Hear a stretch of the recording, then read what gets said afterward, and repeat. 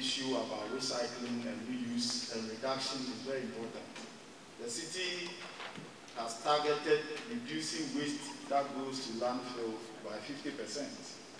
And so part of the activities to help achieve those goals are first reducing the waste we are generating, recycling, and composting. I mean, there are a lot of places you go that they are using the plastic and the whole chain is being taken care of. So it does not become a challenge. So there's a whole secretariat that's been set up to help us to deal with it properly.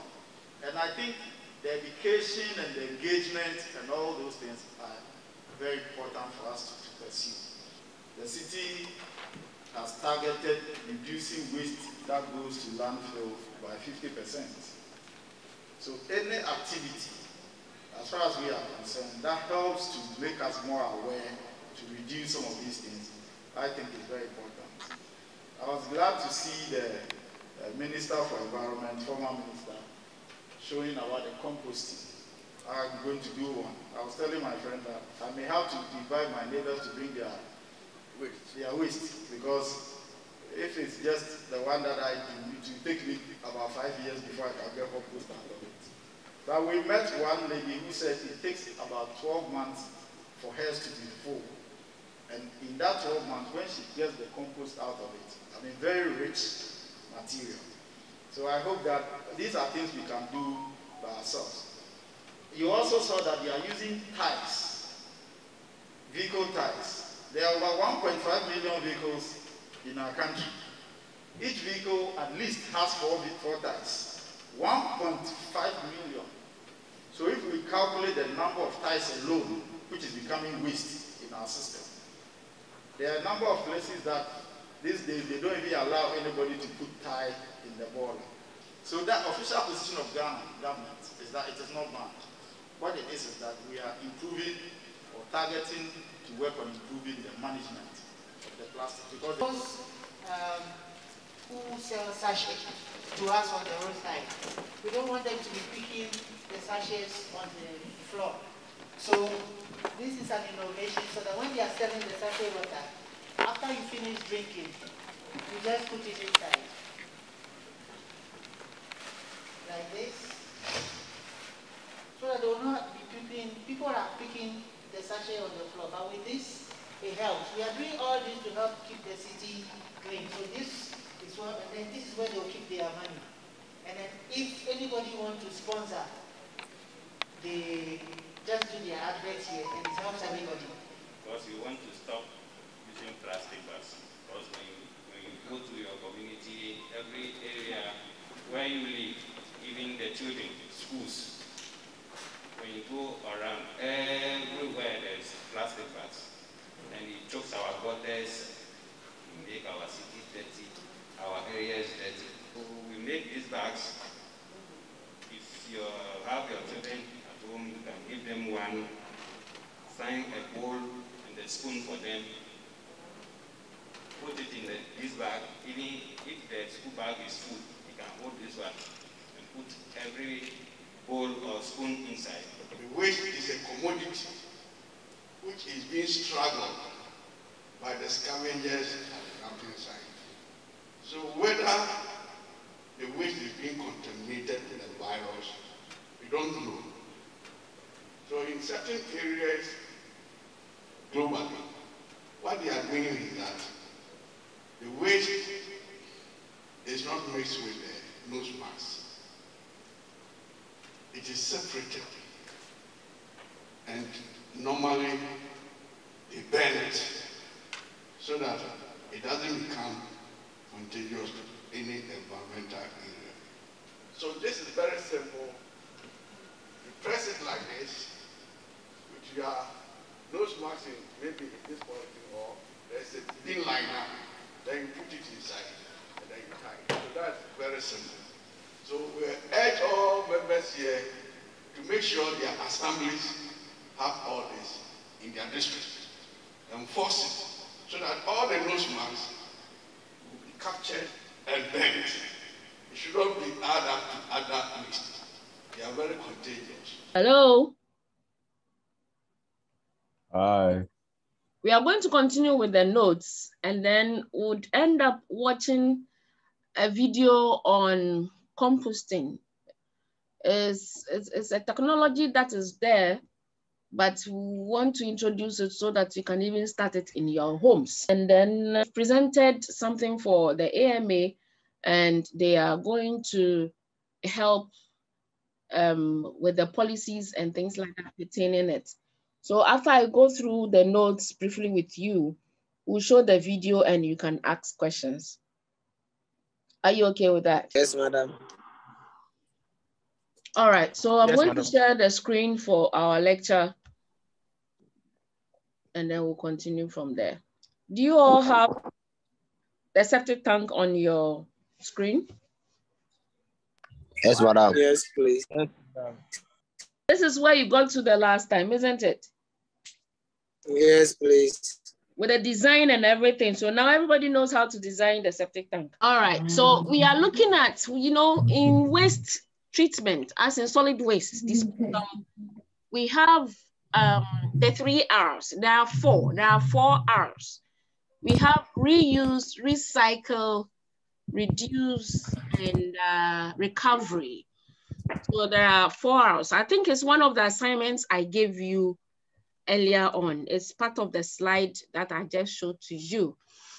And um, what is happening is that we, we have this kind of waste segregation that we want to talk about. So you just follow what I'm going to um, describe for you. Then I'll show you the video of how to construct that kind of composting system, even in your home. You can do it easily.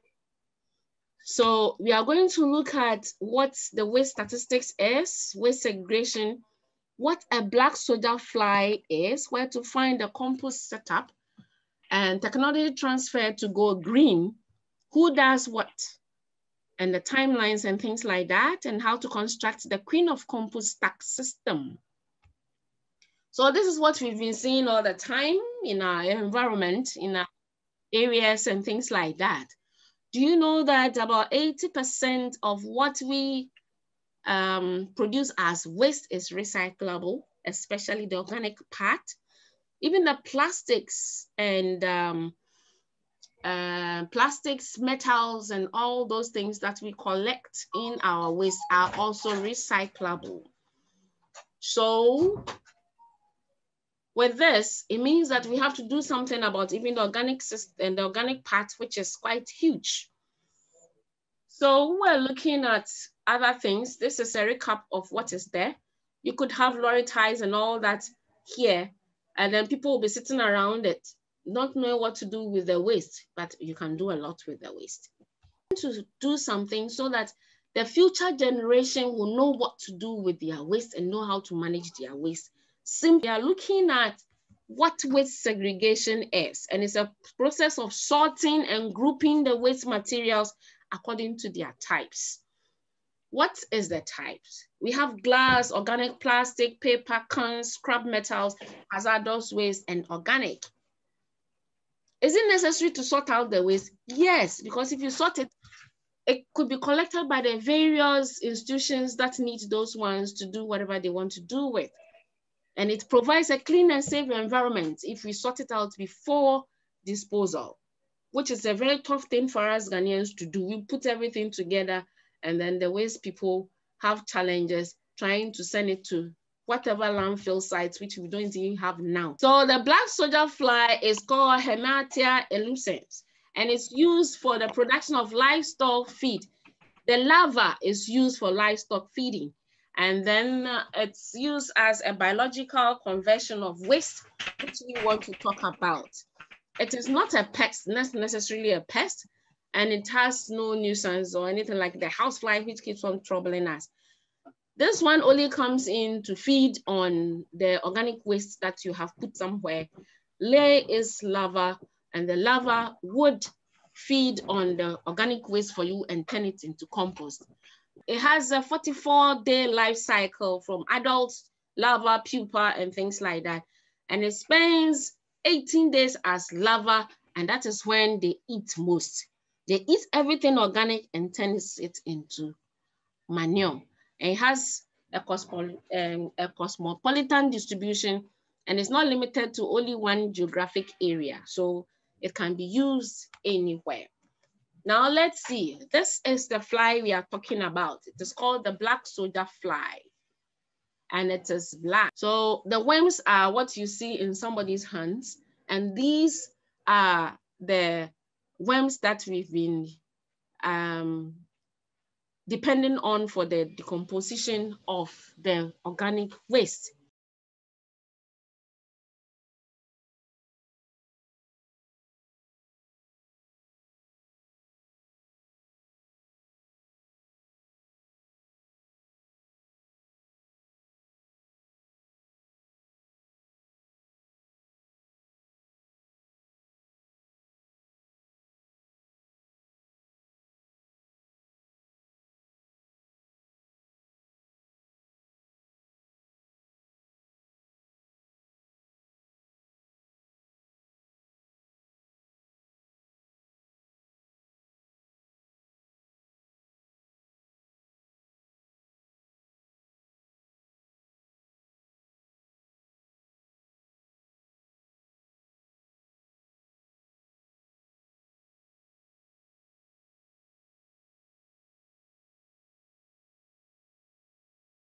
The practical session that Malik took us through on segregation and compost uh, management, uh, for me is very efficient compared to some other um, processes or some other procedures that I knew before. I feel like this is more easy to adopt for households, for offices, um, for businesses even. So that's easy, easy to adopt. And I'm hoping that more and more people would come to this realization and this knowledge will be spread spread more so more people can begin composting um, and using their compost even for greening their houses and um, other, other spaces. Uh, the idea is that uh, the trainers from this session will begin training people from their communities, uh, from the places where they are, etc. So hopefully we can begin sending this message out and get more and more people to begin composting. So we reduce waste to landfill basically.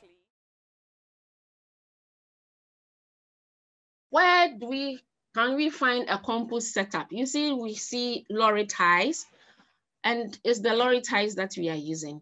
We can have it at institutions, in their households, and at workplace, or in our backyards and things like that. The picture that you see is with the former Ministry of the Environment. And uh, he accepted to do some of these things in his home.